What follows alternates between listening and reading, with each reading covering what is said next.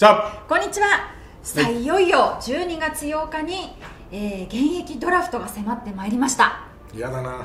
緊張しますか、まあでも嫌だなっていうよりも、12分の6はいね。12分の6、半分が戦力外通告を受けたというね移籍してそうです1ね今年。まあそうだね。ただ半分は残って。はいで大活躍した大竹だとか、はい。細川とかね、うん。まあああいう環境を変えたらまだまだできたというね、はい。まあでもそういう意味では、うん。それだけ活躍ができる場所があったら、はい。力を発揮できたということにフォーカスをして、そうですね。ね、だからみんな一軍ではね、うん。ある程度のチャンスをもらいながら、はい。まあ、それで結果が出なくて、ん。戦力外になったという、うんまあ、厳しい世界だからな。そうですまあ、プロ野球はね、うん。だからまあそれは仕方ないとしても、うでも第二の大竹はい。第二の細川を探せということで、そうですね。ねまあ、やっていきたいと思うけど、はい。いよいよ第2回が開かれるというところではい、去年の大まかな方法だったんですけれども各球団が2人以上を人的ドラフトの対象選手として選出はい。ということで、えーあと対象外になる選手もいまして、例えば外国人選手、まあ、はい。当たり前ですけれども、あと複数年契約の選手、はい。で年俸5000万円以上の選手。でただし1名に限り5000万円以上1億円未満の選手を対象とできる、はい。さらに過去に FA 権を行使したことがある選手。FA 資格選手育成選手などなど、まあ、ちょっとあの縛りはあるんですけれども。難しいよな。年俸わかんないからな。こちらもね本当のところの年俸は分かんはっきりしたわかんわかんないもんな。はい、そう踏まえつつ、はどういった選手が選手がね。はい、リストに上がりそうかというのをちょっと予想していきたいと思います。でもこれはねあくまで言っとくけど、はい。環境を変えたら、まだまだチャンスがあるんじゃないかという前提のもとで話していくからね。もちろんです。その球団ではポジションがかぶってしまったそうそうりとかそうそう。活躍する場がないのでぜひ他球団で輝いてほしいというまあそうだね、はい選手だから第2の大竹第2の細川。だからね。はというわけで、いはい。じゃあまずセ・リーグからはい。いきましょうか、はい。まず阪神。阪神。阪神は豊さんどういった選手をちょっとリストアップしますか？秋山。ピッチャー。ピッチャー。ああ、うん。活躍の場というところでやっぱちょっと厳しくなってきてる。まああれだけの投手陣がいてさ、はい。なかなかこう入る余地がなくなってきてるよね、で新しいピッチャーも取ってるしそういった意味では環境を変えてあげると、うん投げるチャンスを与えると、はい。まあ秋山ってコントロールのいいピッチャーだからさ、あのねファームで投げてるのをちょっと見たんだけど今年。確かにボールに力はなくなってきてるな、うん。まあ、だけどコントロールはまだ健在で。はい。だからできるんじゃないかなっていうような気はするけどおもね。ー。環境変えたらね。入れば、うん。他にはいいます？他にはそんなに思い当たる節はないんだけ例えば阪神で馬場選手どはいはとかあと高浜選手。いまあそうだな高浜とかね、うんとかはどうですか？まあ、2人出すんだったら、まあそういった選手が上がってくる可能性はあるよね,、ありますかね。高浜とかね、うん。まあ、全く今年なんかな、はい。出る幕なかったし、まあ、若手もどんどんどんどん成長してきてるからね、はい。だからまあそういう対象には当たるかなっていうふうには思うよね。うん。ただバッティングがいいからね。そうですよね、うん。うん。だからチャンスがあったら何か掴んでほしいなとは思うけど。そうですね、はいはい。さあ続いて d n a d n a は俺が考えてて京山。ああ京山選手はい。京山もねすごく大抜きに近いようなピッチャーで、まあ、だけどこう力が出しきれないんだよな、うん。あとは上里、あそうですね、まあ、後輩だからねあれだけど。チャンスがいないですね、もう。ただやっぱこう守る走るっていうのはね、すごくできる選手だし、はい。あとはやっぱこうバッティングだよな、んうん。だからまあそこら辺でね、まあ、どうかっていうことだよな、あと柴田選手とかはどうなんですか？誰柴田選柴田はね守りの要だからな。手出さない、うん、これからやっぱこう、まあ、宮崎とかね、やっぱまた一つ年取るし、はい。だからそういう意味ではだましだましうん。こう使っていく、そういうことを考えるとまあ守備固めでいるかなっていう、うん。まあ、藤田も引退しちゃったし。そうあそうか。あーだから守備固めという意味では、はい。もう適任の選手だから、うん。柴田はないような気がする。ない。ということは上里選手だったり京山選手あたりがちょっとリストアップされてくるまあそうだね、まあ、だからチャンスをもらえるとね、はい、えーいいかなっていうふうには思う、うん、さあ続いて広島カープです。広島。はい。広島は堀江。はい。はい左ピッチャー。はい。の中村翔成、あ中村翔成選手。はい、うん、まあこの辺りかなっていうふうには思ってるけどね。まずは堀江投手から。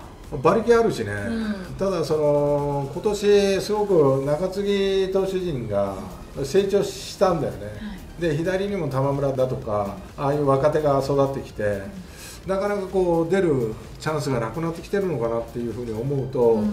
まだまだ俺はできると思ってるし、はい。だからそういった環境を変えるチャンスがあるんだったら変えてほしいと思うし、まあ、中村調整は、まあ、環境を変えた方がいいのかなっていうふうにちょっとそうですね。もう多分思うよね。ちょっと苦労した方がいいかなっていう。うん、あもうそういろいろねちょっとはいありましたし、ポジション的にももうちょっと出られるところはないのかな。そうだね。あと例えばなんですけれども、えーと宇草選手、曽根選手、中村選手などどう宇草はねまだ4年目だよね、うん。で来年5年目、まあ、そう考えるとあの子のバッティングっていうのはかかとに体重が来るんだけど、はい。それが来なくなってくると、うん。俺は結構打てるんじゃないかなっていうような気がしてるから、は宇草はもったいないような気がする。あー現役ドラフトでは出さないような気がする、うん。他に欲しい球団もしトレードっていうことになってくると、は欲しいところはあるんじゃないかなっていう。だとすると現役ドラフトの方ではなくてそのトレードとかいやまあ可能性としたらね。なのかなっていうああ、そっかそっか。続いて巨人いきますか。巨人。はい。まあ、若林とか、はまあ、北村、松原、あはいあ、まあ、松原選まあ、手、松原はね、あれかもわかんないけど、北村っていうのはいいパワーしてるしな、いやそうなんですよね。うんだから、あそこも若手が成長してきてて、うん内野とかね、なかなかこう、出る幕がもうなくなってきてるし、一軍枠って言っても、まあ、厳しくなってきてるから、はい。環境を変えて、のびのびやらしたら、なんかこう、打つような気がするけどな、ね、バッティングね、か。いいものを持っているので、そうですよね。で若林はユーティリティ的な選手だし、どこでも守れますもんね。そうそうそう。だからそういった意味では重宝される球団もたくさんあると思うよ、はい。うん、だから環境を変えると本当この2人っていうのは面白いのかなっていうふうには思うけどね、あと例えば大江投手であったりとかはどうですか？まあ、そうだな。俺も変則に変えて、高梨とかね、うん。いるからね変則は同じようなねねだからまあ可能性としてはなくはないわななくはない。うんそっか。さあ続いて中日。中日はは福谷田島、ピッチャーですね。あ、福谷投手。ここら辺はね、まあ、先発ピッチャーも育ってきてるし、中継ぎピッチャーも、まあ、清水だとか勝野だとか、はいああいうピッチャーがしっかり仕事ができるようになってきてるんだよね、まあ、そうなってくると、はいちょっと変則でもったいないかもわからないけども、入る余地がなくなってきてるかなっていうような感じがするんだよね。あー、もう食い込める余地がちょっとチャンス的には。うん、だから田島とかは FA 取ってたりとかしないんだろうねあ、どうなんですかね。取ってないか。まあもう中堅というかね、年齢的にもまあそうだね、はい。うんだからまあ福谷とかね、まあ、そこら辺はやっぱピッチャーの層が厚いだけに、うん。まあ、苦しくなってきてるのは確かだよね。そっか。うんまだまだ投げれるピッチャーだしはい。環境を変えてあげるうん。とね、感情するよね、あと他に例えば石垣選手であったり三好選手とか鈴木選手とかこの辺りは、まあ若手のね野手とかもね、はい。積極的に使ってくる上では、ちょっとね端に追いやられるっていうような、まあ、環境ではあるよね、そうですよね、うん。だからチャンスがあるところがあればね、はい。まあ行って、うん、うんチャンスを掴んでほしいとは思うけどね。そうですね、はさあヤクルト行きましょいヤクルトははい。原？う原樹里はい。と太田健吾、ああ太田健吾選手。はい、うん。まあ原はボールに力あるけどもねなかなかこう、まあ、ヤクルトではっていうような。そうですね。で星とはい。ちょっとかぶる感じがするんだよね。あやっぱ星っていうのは良くなってきてるし、はい。まあ、原樹里っていうのがちょっと中津飛ばずというかさ、なかなか自分の力を本当に発揮できないというかね、まあ、そういうところもあるし、まあ、あそこの内野っていうのは、まあ、層が厚くなってきてるしね、い。竹岡が出てきたり長岡がいたりだとかさ、うん。まあ、ましてはその山田とか村上とか、まあ、バーンといるから、出る幕はねなかなか太田とかはないかなというような感じがするよな。そうですね、あと高梨投手他はどうでしょう？高梨はまだまだ使えると思うよ。まあ、あのヤクルト側が出しては来ないってことですそうだね。ねそっかそっか。さあパ・リーグ行きましょう、はい。オリックスはどうですか豊さん？山梨、あいやあはい。山田選手うん、この選手はいろんなことで使えそうだよね、うんだから環境を変えてあげるとより輝くかなっていう感じがするよおー。まあ環境を変えて環境を変えてって言い続けてるけどさ。そうですね。でももうこれ環境を変えるためのですもんねまあでもこれは決定ではないからね。でも俺は環境を変えたらできるんじゃないかなっていう選手をピックアップしてるから、はい。だから山梨なんかはどうなのかなっていうふうに。思うんそうです。よあと漆原選手とかどうですか？あピッチャーね、はい。まあ、投げっぷりのいいピッチャーだけどもね、うんまあ確かにそのオリックスのあの投手陣からするとなまあなかなかなチャンスはないかもわからないからね、うん。だからまあ出してあげた方がいいかもわからないけどね。そうですね、はい。特にオリックスはね本当いいピッチャーたちがもうまさかあの出られない選手もいるのでそうなんですよね。だからこういう現役ドラフトでね環境を変えるのいいですよね、うん、さあソフトバンクは？ソフトバンクはね、迷うんだけど、はい。海のあはい。だ一昨年はねこう回に変わってとかいろいろこう出てたけども今年ね本当に出てないんだよね、はい。なかなか。まあ何かあったのかどうかわからないけどもただやっぱあそこは峰井がいたりだとか渡辺っていうね打てるキャッチャーがいたりだとかこれから成長を期待される若手もたくさんいるし、まあ、海野も決してね年ではないけどもまあこのキャッチャーは俺はいいキャッチャーに育つと思うけどね、出してあげたら。しかもあのねキャッチャー出てほしいっていう風になるところで出てきそうですまあまあそうだね、うん。だから出したらチャンスはもらえると思うよ、そうですよね、はい。他に例えばリチャード選手はね国母監督に代わって。うん。いやー栗原が本当にしっかりしてもうバーンとしたレギュラーでいればあれだけど怪我がちでしょ、でリチャードのあのパワーっていうのは2軍ではもう相当タイトル取ってるからね、はい。だからそういう意味では置いとくかなという感じはするけどねリストには上げないかなと。ああ。と例えば野村大樹選手とか野村大樹っていうのはまだ若いでしょ、うん。まだ出さないです出さないと思う。クライマックスシリーズも使われてたしな、うん。だから出さないと思う。あとは例えば井上選手。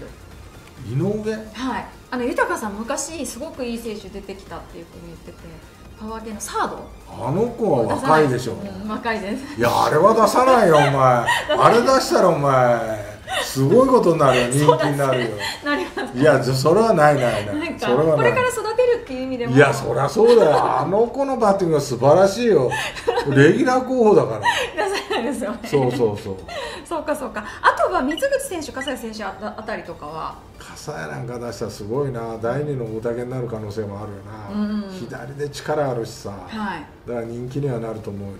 人気にはなりますかねまた人気になるということで。でもまあき俺らが思ってるように球団内部で、いやいやこれ環境を変えてあげた方がいいっていうふうに思うかもわからないしね、ああそうかまあ、そうちではもう成長しないだろうと思うと、うん。出してあげるっていう可能性はあるよね。そうですよね。笠谷なんかでしかもあの出した選手が一番人気になったところから選べるっていうのもあるのでやっぱどの選手を出すのかっていうのも各球団出てきますよね。だから確率的には12分の6、はい、まあ、2分の1、うん、でその中で大活躍したのが2人、はいそうですね、えー、12分の2はい。ね、だから6分の1の確率はあるっていうそうですよ、うん。そうです夢が。それで選手を取れるんだったらうん。夢あるよな、うん、で選手たちにとっても夢ありますよねさあ千葉ロッテです。千葉ロッテな、はい。まあトレード候補にもうん。多分上がると思うんだけども、井上誠也なんか出してあげた方がいいと思うな、アジア選手ですね。ああじゃあ後輩だけどね。あそうなんでこのリストの中で後輩2人いるんだよ。苦しいんだよ。すそうか。いやかわいそうだけどでもこのままで終わってほしくないし、うん。井上なんかね本当にあのバッティングは使えるから、う一生懸命やる子だしね、んはい環境変えたらって思うよ。おおいや第二の細川になるんじゃないかなっていうような気はするよ、他に例えば佐々木千早選手だったりとか平沢大河選手とかそのあたりはどうなんでしょう？まあ、平沢大河はないにしても佐々木千早っていうのはあるかもね、うん。うん、ピッチャーでな、はい。まあ、ちょっと変則だしな。もしかするとあるか。可能性もあるよな、うん。さあ楽天楽天は田中？あ田中和樹選手ですはい。これも足は使える、うん。まあ、守備も使える、うん。あとはバッティングだけだよね、まあ、スイッチだしね、はい。ブレイクした年のことを考えると能力的には高い選手だけどな。ただもう小郷が出てきたりとかさ、まあ、島内岡島いるとかさ、はい。辰巳がいるとかさコブちゃんも外野守り出したとかさ、そうなってくると出番がないでしょ、もうそうなってきますよね。だからまあ可能性がなくはないよな、あとゆべ選手まあ、ピッチャーな、はまあ可能性もなくはなないなさあそして西武ですはい西武西武はねわからないんだよ山野辺選手浜谷選手、まあ、山野辺山野辺な、うん。貴重な内野手なんだよね、はい。ただ。でルーキーの時に辻監督のもとで一生懸命守備練習をしてる 脳裏に焼き付いてるとさ、はい。なんとなくリストに上げにくいんだよあねでもほら環境を開けてやっぱ活躍どんどんしてほしいって考えるとスモールベースボーうん。ルができる選手だからね、はい。だから、まあ、一生懸命やる子だし、だからまあ取ってくれるとこあれば面白いと思うよ、今の西武だとなかなかちょっと出番っていうのはあれなんやっぱね山賊打線っつってやっぱバッティングが効かないとなかなか出るまくないよね。自衛隊はいらないみたいな感じだから。いや守りじゃなくてやっぱ攻めの選手が欲しいよね。まあどちらかというと山野辺っていうのは守りの選手だからさ。はい。だから守りっていうことを考えると、まあそうだな守備固めでも、うん。っていうことを考えると重宝できるかもね。そうですよねさあラスト日本ハムです。ああ日本ハム。はい。石川、うん。はいまあ、長身から投げ下ろす。っていうことがあるんだけども、まああそこも中継ぎが揃ってきてるんだよね、いっぱい、はい。で自分では抑えをやりたいっていう風な形でやってたんだけどもなかなかそこにはまらなくて、はい。どちらかというとちょっと制球に苦しむというかさ、まあ、そういうことだけども環境を変えるとね、まあ、あれだけのポテンシャル持ってる男だから、はい。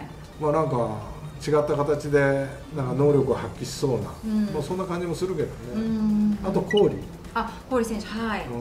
まあ、キャッチャーが溢れてんだよね。今日本もう本当にあのいいキャッチャー優秀なキャッチャー伸び盛りのキャッチャーはい。まあ結構いるから、んまあ、バッティングがいいだけになんかこうくすぶってるのがもったいないなっていうような感じがするんだよね、うん。で今年なかなか使われるケースもなかったから、はい。だからそういう意味では、まあ、環境を変えるとね、うまあ、キャッチャーというポジションをしっかりやりながら、まあ、バッティングを生かしていくと、はい。まあ、なかなか2番手3番手にはうん。なりそうな感じがするけどな、おー。あの豊さんに怒られること覚悟で今川選手はないですよね。漫画出したら 俺がスカウトする取りに俺俺が取りに行こうかなと思って。今がないだろう。まあないですよね。今が出したら俺泣いちゃうよお前。でもそうですよね。動画撮れないですよね。速報の泣いちゃったよそうですよ。いやでも新天地っていうこともね新天地で活躍するまあまあそうだね。いう意味ではいやまああまあその可能性があるんであればね、、はい。や日本ハムでもチャンスがないって言えば、それはもうそうかもわかんないけど、ん。まだまだチャンスあるわ彼の能力からすると。あそっかそっか。まだまだ能力の3割ぐらいしか出してない。か結構出してないですね。ら出せてないんだよ7割出せてないんですか？もう笑った口からバウンド能力からもう飛んでいくから。全部中に入れそうそう中に。溜め込んでおく。溜め込まなきゃっていう。そうそうまあ、あくまで予想なのでそうそうそうそうはい、ちょっとあの、ね、本当のところのリストが出てみたいとわからないんですけれども、まあまあそうだね。まあ、はい。でも何回も言うようだけども、その暗いイメージじゃなくて、うん。環境をもう変えてあげたら、はい。えー能力が発揮するんじゃないか、うんうん。ね、開花するんじゃないかっていう選手をこうちょっとピックアップししてきてるけどね。はい、だからその誤解がないようにね。そうですそうです。本当にあの球団がね、うん。仕方なく出してるとか、うん。そんなんじゃなくてね、そうです。まあ、あくまでもこうポジティブに考えて。そう。でね。ね、実際に本当細川選手、大竹選手をはじめ、はい。やっぱりドリームを掴んだ選手っていうそうのがいそうそうそう。いやだからドリームをつかめるような選手ばっかりリストアップしたつもりだしね、はい、うん、頑張ってほしいなというふうに思います。はい、はい。